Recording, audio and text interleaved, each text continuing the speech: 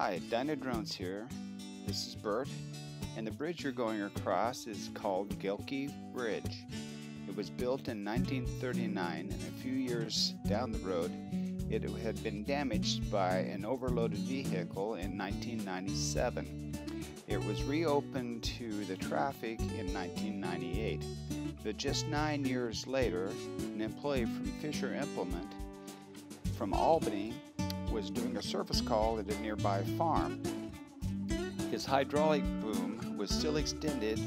As he started to go across the bridge, he snapped a couple power lines and went through the bridge and damaged the roofing on it and got stuck about three quarters of the way through the bridge.